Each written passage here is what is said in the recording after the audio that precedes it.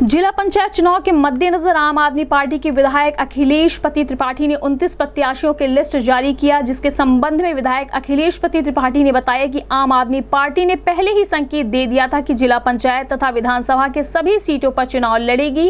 उन्होंने कहा कि पहले चरण में जो चुनाव गोरखपुर में हो रहे हैं, जिसको देखते हुए आम आदमी पार्टी ने उनतीस प्रत्याशियों की लिस्ट जारी किया है। उन्होंने कहा कि हमने जिला पंचायत चुनाव में साफ़ सुथरी छवि के ईमानदार प्रत्याशी को मैदान में उतारा है।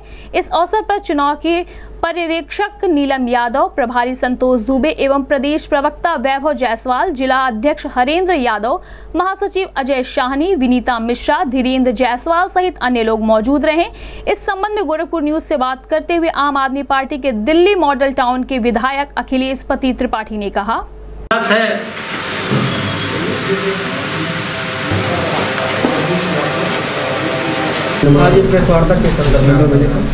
आज आम आदमी पार्टी ने जैसा पूर्व में कहा था कि उत्तर प्रदेश के जिला पंचायत के प्रत्येक सीटों पर आम आदमी पार्टी चुनाव लड़ेगी।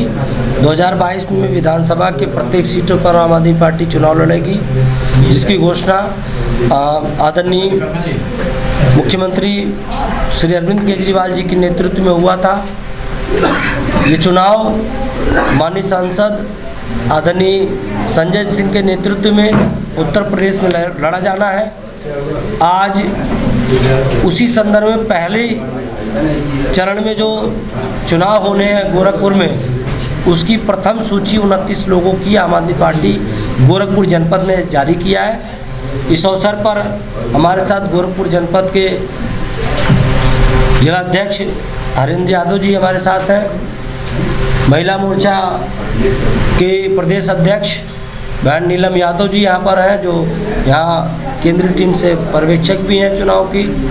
हमारे संगठन की तरफ़ से प्रदेश सचिव और गोरखपुर से जनपद प्रभारी भाई संतोष दुबे जी, वैभव वैभव जायसवाल जी, जो प्रदेश सचिव हैं, वो भी उपस्थित हैं, प्रदेश प्रवक्ता हैं। जिलाध्यक्ष संत कबीर नगर भी उपस्थित हैं और तमाम पदाधिकारीगण गोरखपुर जनपद के इस अवसर पर उपस्थित हैं। उनतीस लोगों की सूची जो हमने पहले पढ़ करके बता दी है, वो आपके सामने हम जारी कर देंगे।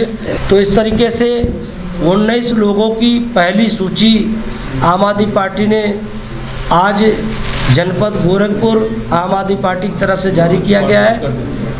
जो उम्मीदवार होंगे आम आदमी पार्टी के, जल्द ही दूसरी सूची लेकर के आपके बीच में आएँगे।